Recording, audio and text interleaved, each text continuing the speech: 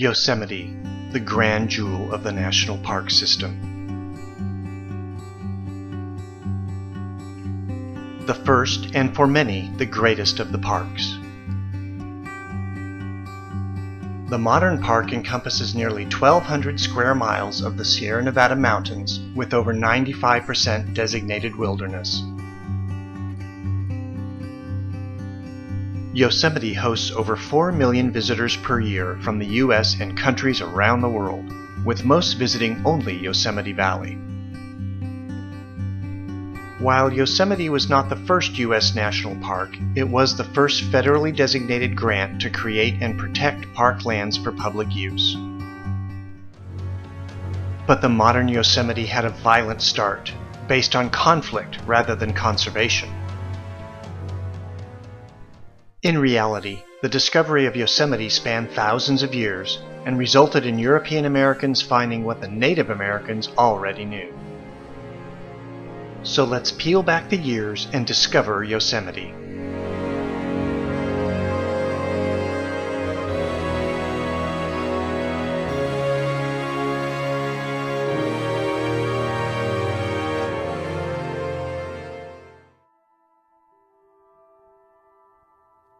It is estimated that the first humans visited the Yosemite region as long as 10,000 years ago.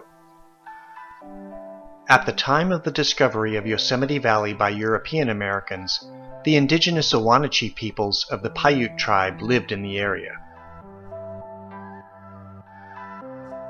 The Ahwahneechee people referred to the area as Ahwahnee, or the Big Mouth.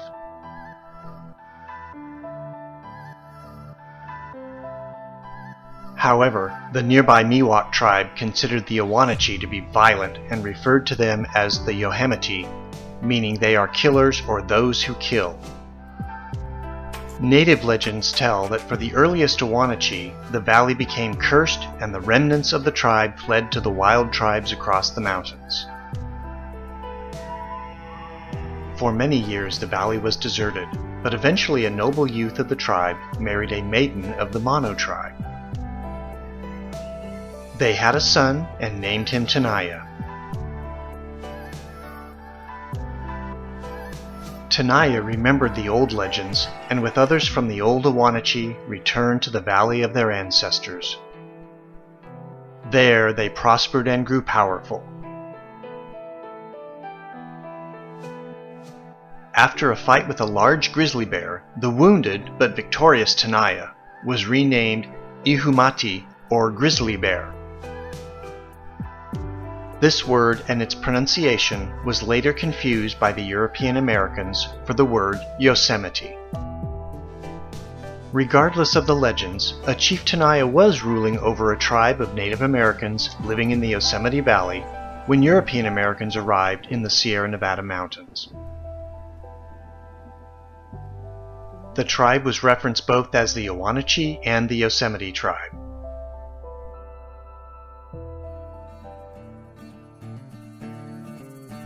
In the fall of 1833, trappers, led by mountain man Joseph Reddeford Walker, may have been the first European Americans to view Yosemite Valley from the cliffs above. Zenas Leonard, a trapper in the Walker Party, wrote in his journal a description of a high waterfall that could have been that of Yosemite Falls. However, there is no proof that the party looked upon Yosemite Valley, and modern historians strongly doubt that they did. In 1848, gold was discovered at Sutter's Mill near present-day Sacramento, California. Lumber mill operator William Abrams, like thousands of others, departed for California. In October 1849, Abrams and his traveling companion U.N. Reamer while searching for possible lumber mill sites, recorded in his diary the likely sighting of Yosemite Valley. Abrams wrote of getting lost while hunting a grizzly bear. Found our way to camp over an Indian trail that led past a valley enclosed by stupendous cliffs, rising perhaps 3,000 feet from their base. Not far off, a waterfall dropped from a cliff below three jagged peaks into the valley. While further beyond a rounded mountain stood, the valley side of which looked as though it had been sliced with a knife, as one would slice a loaf of bread, and which Reamer and I called the Rock of Ages.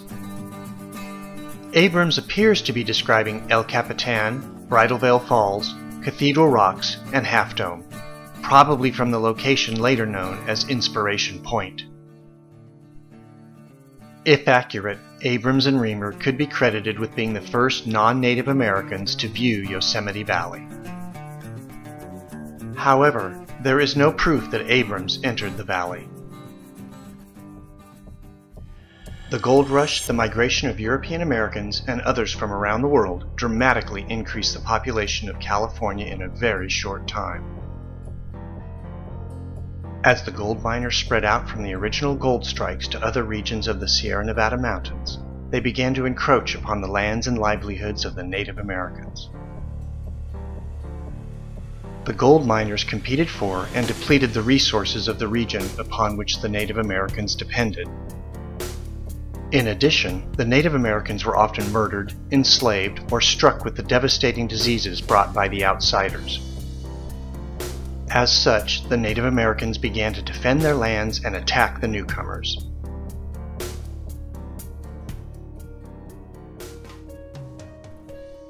The scarce historical documents of the period, most written some years later from the European American perspective of Dr. Lafayette Bunnell, in his book Discovery of the Yosemite and the Indian War of 1851, which led to that event, record the growing conflict that led to the discovery of Yosemite Valley. Bunnell himself arrived in California sometime in 1849 to try his luck in the search for gold. He then records that during the winter of 1849 to 50, he ascended the old Bear Valley Trail from Ridley's Ferry on the Merced River and got a glimpse of some of the high features of Yosemite Valley. While intrigued, Bunnell continued his search for gold. Bunnell records that a James D. Savage, of which there are no known images and represented here in a generic picture, was a prosperous miner who ran a trading post located about 15 miles below the Yosemite Valley along the South Fork of the Merced River.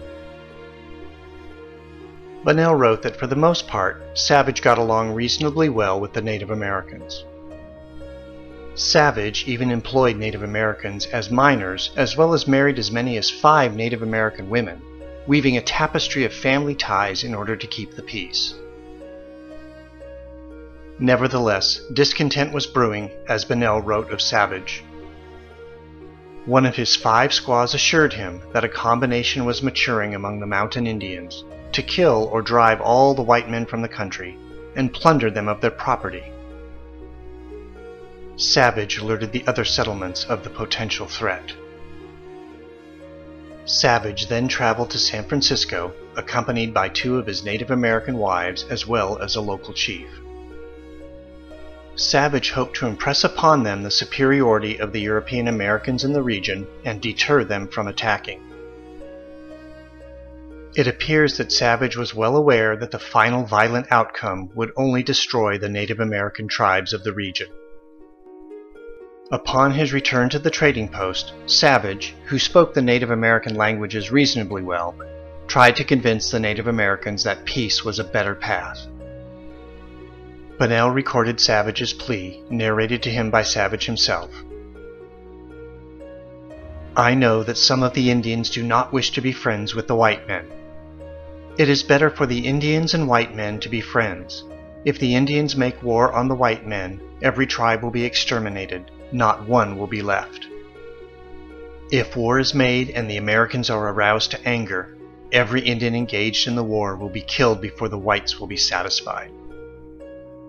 Savage then brought forth the local chief that accompanied him on his trip to San Francisco to confirm his plea. The chief confirmed that the European Americans in the cities were numerous, but then went on to say, Those white tribes will not come to the mountains. They will not help the gold diggers if the Indians make war against them. The local chief then implored the Native Americans to unite and attack immediately before any more gold diggers arrived. Savage was surprised at the chief's speech and discouraged by its results on those attending. Savage continued to plead for peace, but other chiefs joined in the chorus to attack. In December of 1850 and January of 1851, Savage's trading post and other settler locations were raided, ostensibly by Ahwahneechees and possibly by warriors from such tribes as the Chowchilla, Chukchansi, and Cahuilla. Savage and others joined together to form local groups of militia to respond to the attacks, but with only limited success.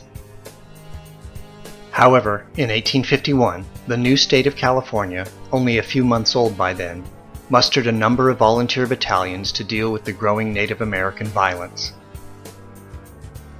Bunnell recorded that the Mariposa County Battalion came into service on January 24, 1851, with the volunteers providing their own horses and equipment. The state generously provided camp supplies and baggage trains. A Major Ben McCulloch, already well known for his service as a Texas Ranger and in the war with Mexico, was offered the command of the battalion, but refused as it did not pay well enough. Savage then took command of the battalion. Bunnell himself was assigned to the battalion as a company medical doctor. Savage led the battalion in pursuit of about 200 Ahwahneechees led by Chief Tenaya himself. Toward the latter part of March, a battalion company reached a viewpoint from where the main features of Yosemite Valley could be seen. There is some argument as to the actual date that the Mariposa Battalion first entered Yosemite Valley. Bunnell, who was there, cites it as about March 21, 1851, with other sources dating it as March 27th. Author James Mason Hutchings, a well-known writer of Sierra Mountain history and lore, citing Elliott's History of Fresno County, puts the date as May 5th or 6th. Hutchings cites the dispatches of Major Savage, as recorded in Elliott's history, as proof of the May dates. However, Bunnell wrote that the adjutant attached to Major Savage was not present at the March entry into the valley, and that the adjutant likely used his own first entry into the valley as the discovery date. Considering it is recorded that Bunnell's company reached a viewpoint of Yosemite Valley toward the latter part of March, it seems likely that Bunnell's late March date is accurate, as it should not have taken over a month to then descend into the valley. Upon arrival into the valley, Bunnell records his astonishment of the scene. None but those who have visited this most wonderful valley can even imagine the feelings with which I looked upon the view that was there presented.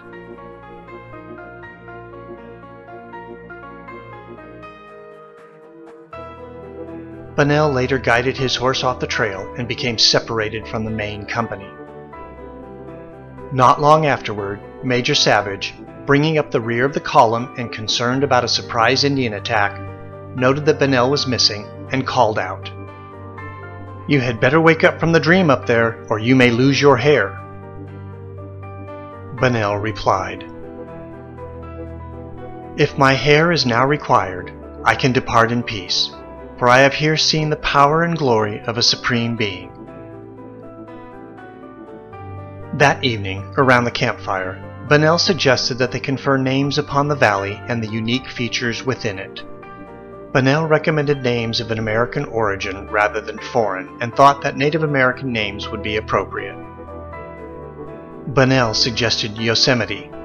Then, recognizing the probable outcome of their military operation, he continued The name of the tribe of Indians, which we met leaving their homes in this valley, perhaps never to return, would be perpetuated. Several of the soldiers objected, remarking that the murderous Indians should not be honored as such. However, Bunnell pointed out to those soldiers that honoring the Indians this way would be good objects on which to develop your Christianity. The name was adopted by the soldiers and remains to this day. Bunnell then went on to name many of the other features of the valley. Chief Tenaya's band was eventually captured and their village burned. The Ahwahneechee were then relocated to the Fresno River Reservation. However, the Ahwahneechee were miserable on the reservation and wished to return to their home. The reservation officials finally allowed them to return to Yosemite Valley on their own recognizance.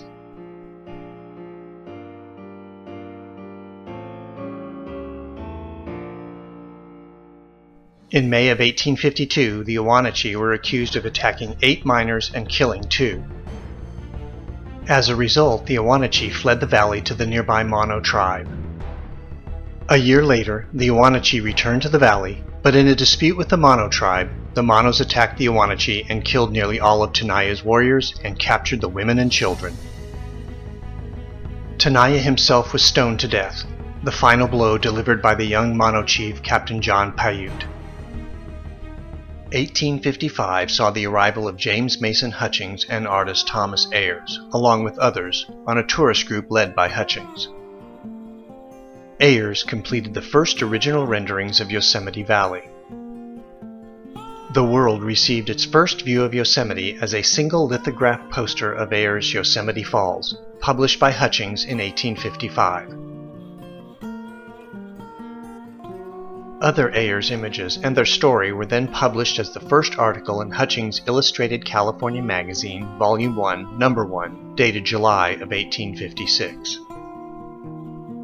Ayres went on to display his images in art exhibitions and later returned to Yosemite and made additional sketches. Sadly, Ayres and a large collection of his California landscape art perished about April 26, 1858 when the passenger schooner Laura Bevan, on which Ayres was sailing, sank in the waters off Southern California, although some reports placed the sinking off San Francisco. It needed but a glance at his paintings to show that California has lost an artist whose genius would, ere long, have copiously illustrated her mountain scenery. The Daily Alta California, May 27, 1858. In 1856, Galen Clark, while seeking rest and fresh air for his tuberculosis infection, became the first European American to view the Mariposa Grove of giant sequoia trees. Clark would spend much of his life exploring the region, writing and teaching about the giant trees, and running a small hotel for visitors. Clark's writings and teachings were instrumental in securing the federal grant to preserve Yosemite and the Mariposa Grove. In 1859, Hutchings took photographer Charles Leander Weed to Yosemite Valley, where Weed took the first known photographs of the valley. In September of 1859, Weed displayed his photographs to the public at a San Francisco exhibit. Hutchings would later use the weed photos as the basis for woodcut images he published in his own works. Hutchings also worked with photographer Carleton Watkins, who did commissions for Hutchings' Illustrated California magazine. Watkins arrived in Yosemite in 1861, where he made large plate photographs as well as stereo view images. Watkins images were some of the first seen on the east coast of the United States. Sadly, Watkins lost his gallery and images to creditors and later his health and sight. He passed away at the Napa State Hospital in 1916 and was buried in an unmarked grave at the hospital. Watkins' photos were immensely influential in securing the federal grant to preserve Yosemite and the Mariposa Grove. New publicity brought more tourists, and soon lodgings were constructed, including Galen Clark's small hotel and the Hutchings House Lodge. Hutchings House later expanded to include the Big Tree Room, which was built around a living tree. However, by the early 1860s, it was already evident that tourism and settlement was having a negative impact on the valley and the big trees. Unitarian minister Thomas Starr King argued in his oratories and in his writings in the Boston Evening Transcript of those negative impacts and called for a public park at Yosemite. Starr King's words influenced the likes of Oliver Wendell Holmes and landscape architect Frederick Law Olmsted, famed co-designer of New York's Central Park. With these moving words and Carleton Watkins' photographs revealing the stunning beauty of Yosemite, the U.S. Congress and President Abraham Lincoln were moved to protect the valley and the big trees. As the U.S. Civil War raged on, the Yosemite Grant was signed into law on June 30, 1864, by President Lincoln. Soon after, Yosemite Valley and the Mariposa Grove of Big Trees was ceded to California as a state park. Frederick Law Olmsted led a board of commissioners to govern the grant and appointed Galen Clark as the first guardian of the park. Famed naturalist and conservationist John Muir arrived in Yosemite Valley in 1868 and took work with a local rancher as a shepherd. Muir studied the region and wrote many articles about Yosemite and conservation. Over the years, Muir invited many influential people to camp with him, including Ralph Waldo Emerson and President Theodore Roosevelt. Muir was convinced that the region must be under federal protection and, with his influence, on October 1, 1890, a large region around the valley and the Big Trees was declared a national park. However, although the valley and the Big Trees were enclosed in the new national park, they remain separate as a California state park. Muir continued to lobby for the inclusion of the valley and the big trees in the new national park. While Muir worked to create a whole Yosemite National Park, steady improvements were made to better accommodate the growing stream of visitors. By 1869, rail service reached Stockton, California, and by 1872 it reached Merced, a key gateway to Yosemite Valley. By 1875, three stagecoach routes were completed to ferry passengers into Yosemite. In 1876, the famed Wawona Hotel was built to handle even more tourists. Within a few years, stagecoach routes also reached Glacier Point and Tuolumne Meadows. The first automobiles arrived in Yosemite Valley in 1900 and rail service reached El Portal in 1907. President Roosevelt visited Yosemite in May of 1903 and camped with Muir near Glacier Point. As progress continued, Muir convinced Roosevelt that Yosemite should be a unified park and on June 11, 1906, Roosevelt signed legislation unifying the national park, the valley, and the big trees. However, subsequent legislation reduced the overall size of the park to two-thirds of its original size, where it remains today.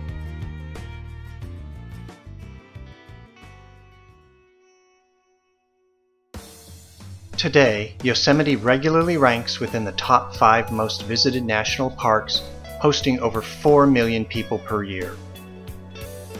Yosemite offers a wide range of activities.